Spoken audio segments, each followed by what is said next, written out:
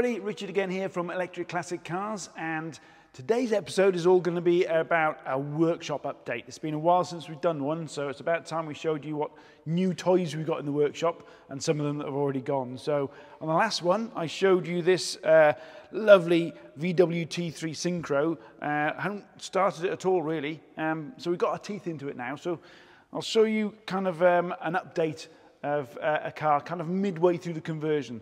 So what have we done? We've done the battery boxes. So fabrication guys have been very busy. Um, so we got um, a battery box here, a battery box behind the back seat, um, or underneath the back seat, should I say, and another one where the stool goes. There's normally another like um, uh, stool behind the passenger seat. Um, now on this, we are looking for maximum range, and we're going to be keeping the four-wheel drive capability of the vehicle.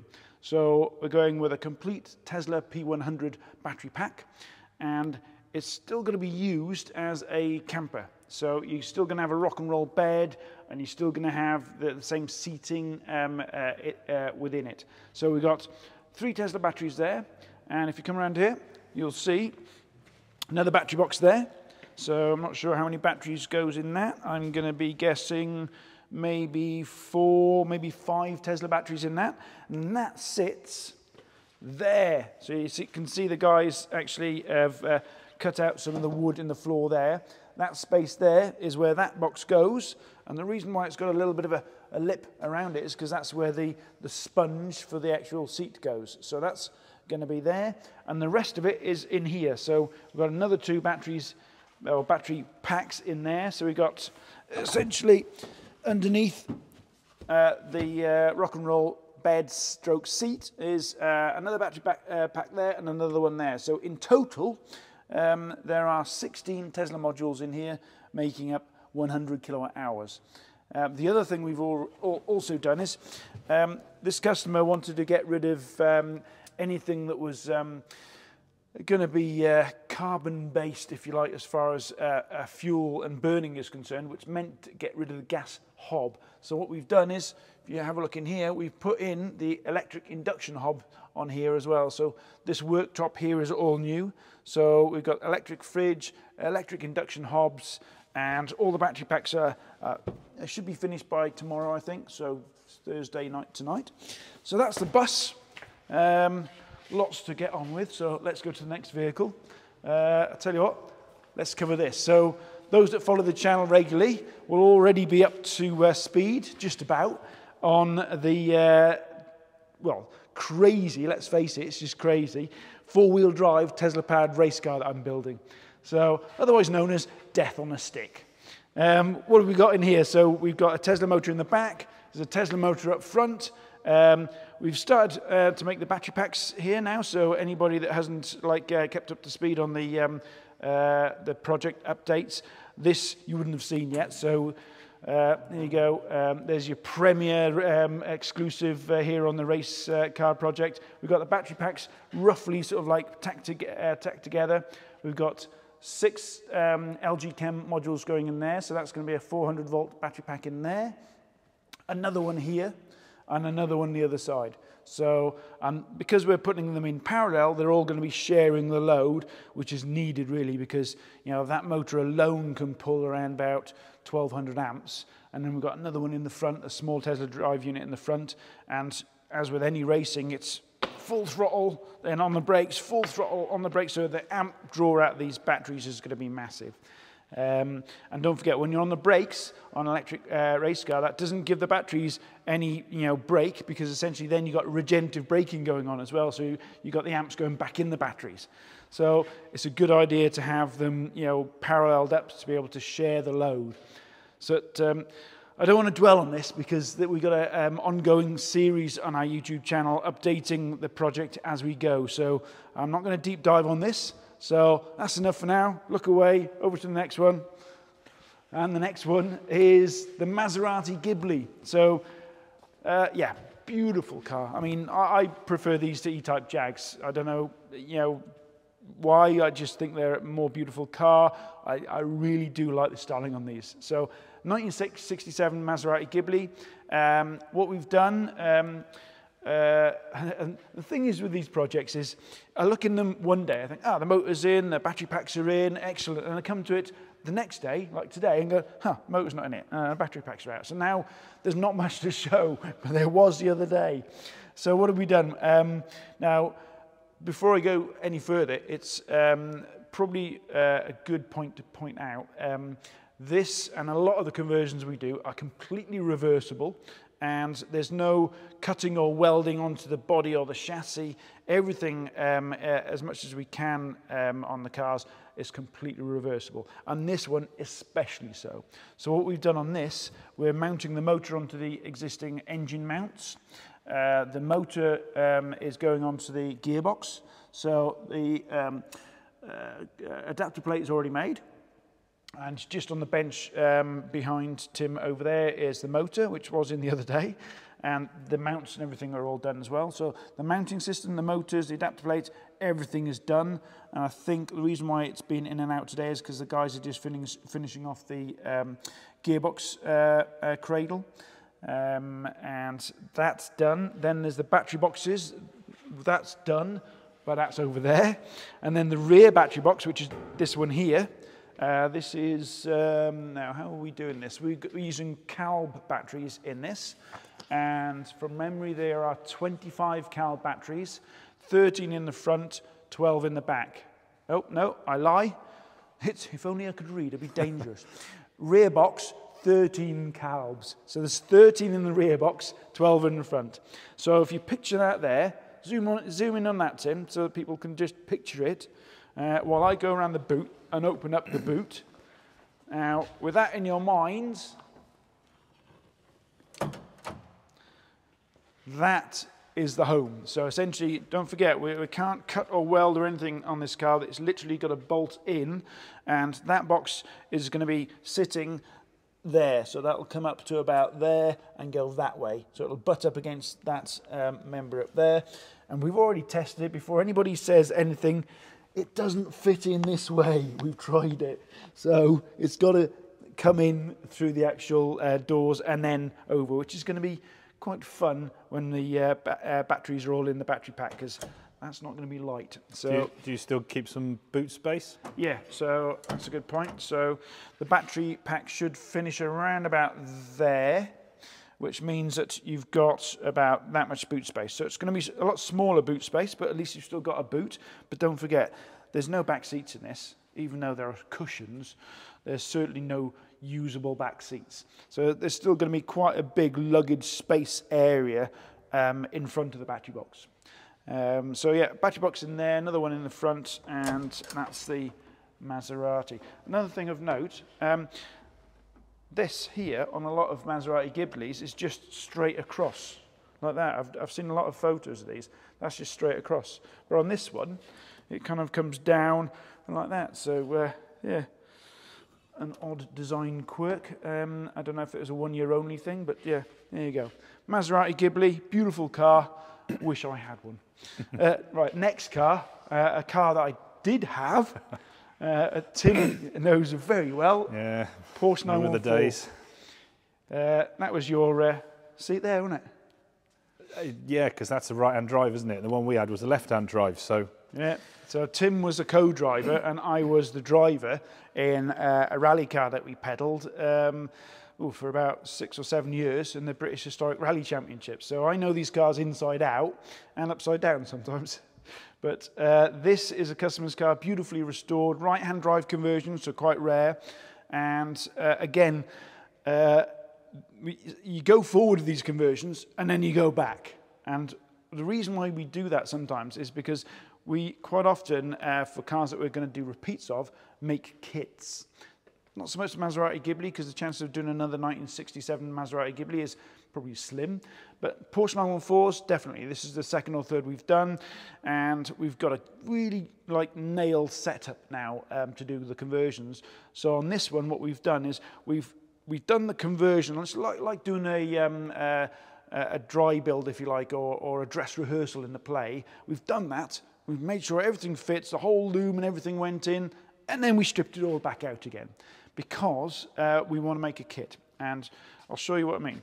So the, anything orange in uh, cars, for those that don't know, that's the dangerous bit. So that's your high voltage um, uh, in the orange cables.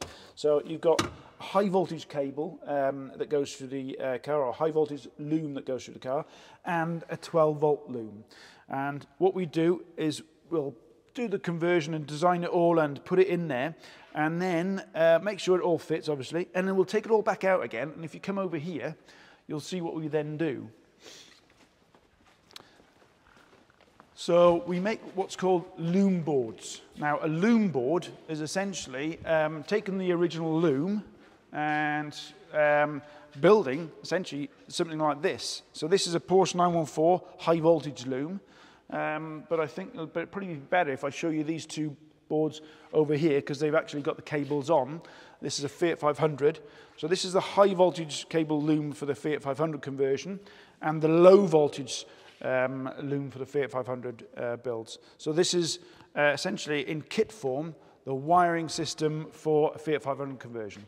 And that's why we take you know, the vehicle, uh, the cables out once we've converted the car, just to put them on a board. And if you zoom in, you'll see, you know, you literally go real, real detail, get the cable lengths right. You even get the angle of the um, crimps in the right position um, you know, get all the um, uh, connectors all um, uh, wired up, and you know, it's a it's a real good way of being able to do uh, make up a kit without a car here. So the next Porsche 914 that comes in will already have everything pre-wired and pre-built um, before it arrives so that then we can do the conversion really quickly or send these kits out to other conversion shops around the world, which is something we're doing a lot of now as well. So there you go. That's why we um, uh, do a conversion on a number of vehicles, take it all back out again and put it back in. But uh, once you've done that once, it's worth the investment. And actually, on that front, I'll show you something else that's quite interesting. Because underneath there, there's not much to see. Uh, in fact, let me just double check.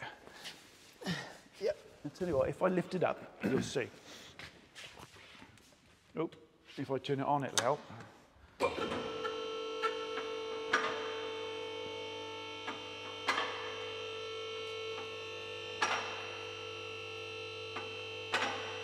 That'll be enough. There you go. So if you stick your head underneath here, this essentially uh, is where the engine and gearbox used to sit. And uh, that was always the Achilles heel in the rallying, wasn't it? But never enough power. No, we never had enough power or, or enough talent. what? um, so what we've uh, got, and I'll show you in a minute now, is we've got the battery pack kind of sitting here and we've got the motor sitting here, and it's a Tesla small drive unit, um, which uh, you know uh, gives around about 250, 300 horsepower, so which is enough in a Porsche 914. Uh, so what we've done is we've got a cradle which picks up off the original uh, gearbox mounts here and the original engine mounts here, and that cradle then holds the battery pack and the motor, and it's around about the same weight as the engine and gearbox and exhaust and everything anyway. Uh, so these mounts will take it. And then the idea is you bolt it all up, one, two, three, four, five, six, six bolts, and everything just bolts up. And then all the um, uh, high voltage and low voltage uh, cables will have their crimps already on, and you just plug it all in. And I'll show you the fabrication side over here now. All the battery boxes and um, mounts have gone to be powder coated, so I can't show you them. But what I can show you is the end result of um, the jigs, if you like, that we um, design um, uh, to have the repeatability of these things. So, so this here, for instance, this is a spare cradle that we've uh, designed up. Um, so this is a Porsche 914 cradle, and essentially, if I put it down like that, it'll be a bit clearer. So I was sitting in it, facing the camera that way, and essentially, this is where I'm sitting here would be where the battery box would sit. And then underneath here on these mounts here is where the motor would sit. And, you know, uh, as I've already mentioned, you, you, you put everything on and then like uh, either raise it up or lower the car down and you bolt everything on. And, you know, to build one of these, you need to have what's called a jig. So what we've got over here is a jig. So this is a representation of a Porsche 914 um, with all the mounts in the right place. And the guys can then use this in future to be able to build another one of those cradles without the car being here. And we have these for various different cars from Porsche 914s to 911s to Fiat 500s to Minis. Uh, there's a Mini one over there. So it helps us to be able to supply conversion kits to companies and get our own conversions done or battery boxes and looms done before the cars arrive, which will speed up the conversion process in the future and you know not only make it time efficient but also a bit more cost efficient as well. So right, on with the uh, show. Let's go to the next car. What's the next car? Fiat 500. Right. I think the last uh, time the Fiat 500s uh, were um, half converted, and again, typical um, uh, thing. You know, this was literally all built up the other day, and they've taken it apart just to check things. Um, I think a good solid day on this, and this will be uh, finished now. So in this, uh, same with the other Fiat 500 that's around somewhere, the motor's in. So this is a motor onto the original gearbox. And as you can see, everything bolts in again. So essentially, you've got a, uh, a motor cradle around there, and it bolts into the existing uh, bolts that are holding the rear valance and stuff on. Uh, and then the battery boxes um, well, actually, before I mention that, so that's the motor and everything in. Then you've got two plates that go on there, which are sitting here. So if I grab one there, and there's another one on the table over there. If you imagine these sitting in kind of there, and the other one then that side. And then on that, uh, and obviously these are uh, fairly thick alley, and on top of that there, you see all these holes here. You've got things like the battery boxes will sit on there, the motor controllers, you've got the high voltage junction box and bits and pieces, which are over here. So you've got uh, battery boxes. So we've got two Fiat 500s getting converted at the same time. So these are the battery boxes. So that's the rear one. So that would sit on top of that plate. That's the front one, rear one, front one. And these are all done, finished, high voltage um, is already on there. Um, actually, that's the isolator. So that's essentially goes on there. That's your uh, service disconnect or safety disconnect. Um, but you've also got the high voltage plugs and low voltage uh, plugs in various different places as well. Right, so that's the battery boxes for the Fiat 500s, but we need to crack on. So that's the Fiats. And now we'll go over to another Fiat, the Fiat Testarossa. I mean, Ferrari Testarossa. So Ferrari Testarossas, we've got two of those in the workshop at the moment. And um, this one has all the dirty, smelly stuff taken out. And there's a cavernous hole in here. But anyone that wants to follow this in a bit more detail, we're doing a conversion um, like series on the Ferrari uh, Testarossas. So I won't um, uh, dwell on the, this one because essentially, if you want to follow this build, have a look on the uh, Ferrari uh, Testarossa conversion series that we're doing on these. So that's the Testarossa. I'll leave that one. We've got a, a lovely VW camper in. So this is a conversion from around about, oh, five years ago, I think it is. Um, not seen it for a while. Uh, and unfortunately, the encoder, which is on the end of the motor, has failed on it. So um, that's out at the moment over there, and we're just waiting on a new encoder to come. Um, and at the same time, we're just uh, giving it a bit of TLC and some upgrades of things like the suspension bushes while it's here and anything else that might need to be um, uh, looked at because it's an old vehicle at the end of the day. So this is a, uh, a well-used uh, family camper um, called Matilda, I think it's called. Uh, I think that's what they call it. Um, so yeah, lo lovely car, uh, lovely guys, um, Alistair that owns it, and yeah, just back for a few days uh, for a bit of TLC. There's the other Ferrari Testarossa. Here's my bus. So my daily driven bus, talking about conversions I did some time back. This I did, whoa, must be six, maybe seven years ago now, and I restored this and converted it on the budget back then. Um, and I just felt that it needed a little bit of uh, TLC because it's literally just not being looked after. Well, not looked after, it's just, you know, there's nothing that ever goes wrong with it. So you just get in it, drive it, and, like, you know, use it. But I just feel uh, it's time to give it a bit of love. So um, I'm going to give it a bit of restoration Uh, but at the same time, the technology I used six or seven years ago is not the same technology that I use now. So what we're doing as well is upgrading some of the technology that's in the bus as well. Uh, you know, the, the chargers in it were like 2.5 kilowatt chargers and I had two making five kilowatts. Well now, you know, seven kilowatts is the minimum and we've got 21 kilowatt AC or CCS charging at 150 kilowatts as well. So, you know, we're upgrading all that at the same time. So that's my bus, that's why this is here. And the other Fiat 500 is over there, so I won't cover that because I've covered it already with the uh, uh, cream one that's over there. That's at the same state. Nice colour that, isn't it? Yeah, I like that colour. Uh, what have we got over here? So there's the uh, Mercedes 190 SL. We're just about to um, start diving into that. And I'll quickly show you something uh, that arrived today, which I, I got quite excited about because I'm a bit sad, is this. Look at that. Motor eye candy. Mmm, nice.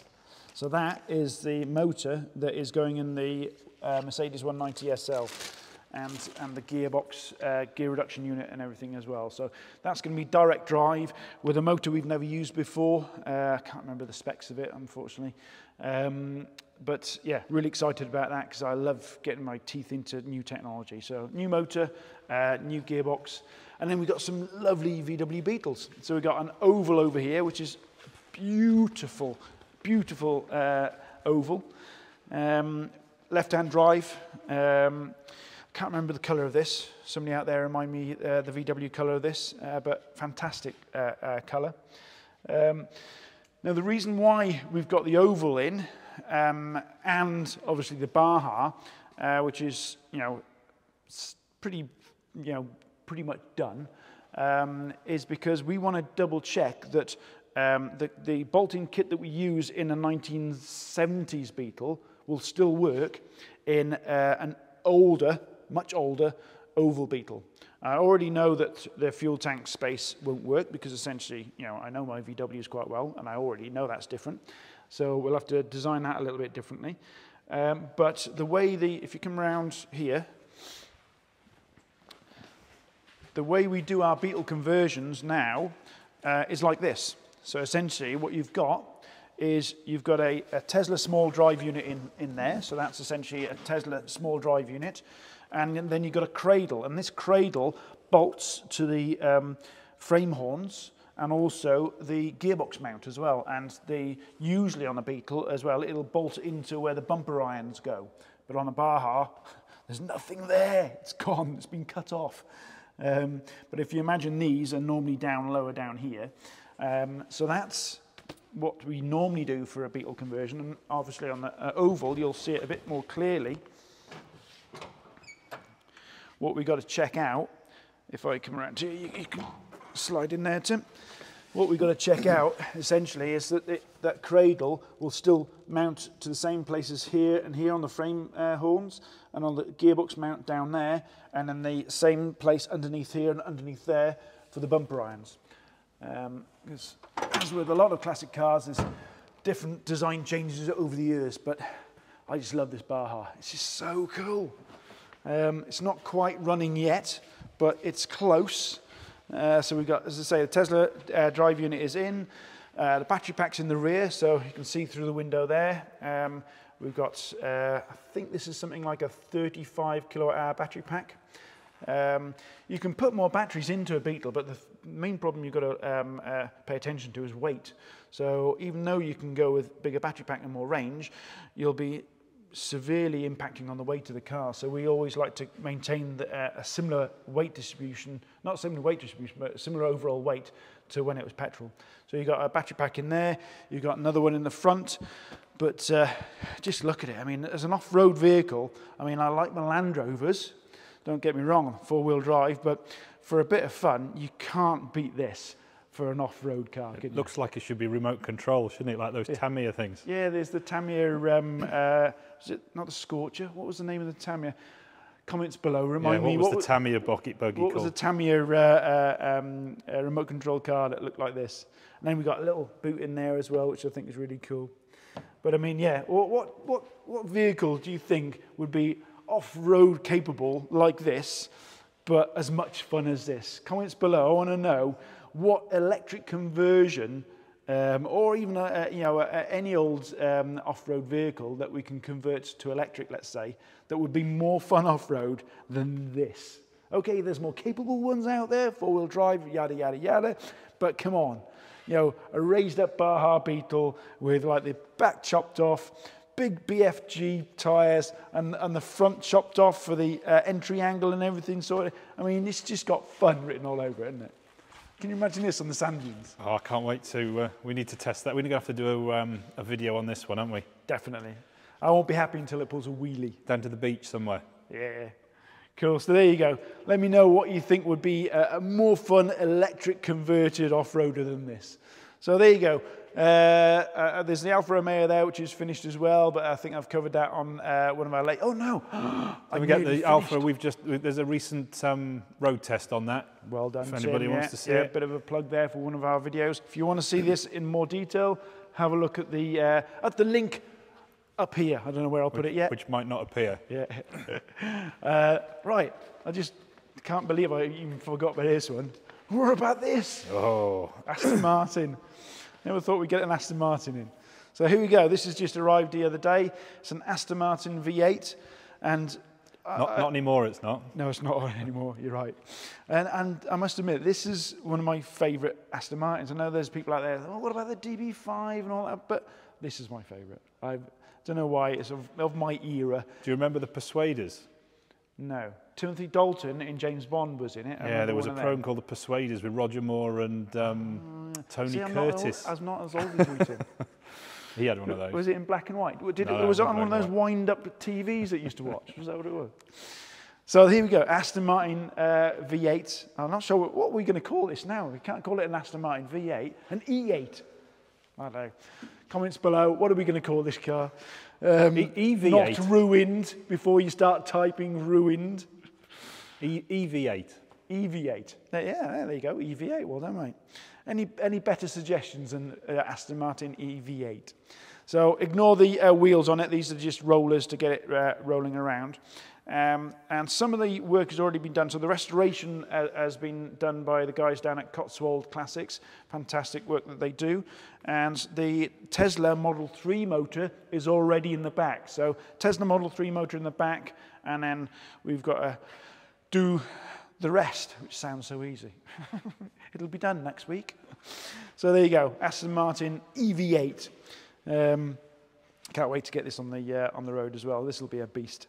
But um, what what other uh, film cars do you think we should do? This was this was in uh, James Bond. What one was it in? Can you I think it was in quite a few. It was in a couple of James Bonds, no, I think it? it was just in one James Bond, Timothy Dalton one. no, it was in the George Lazenby one. Oh, was it? Oh, there you go.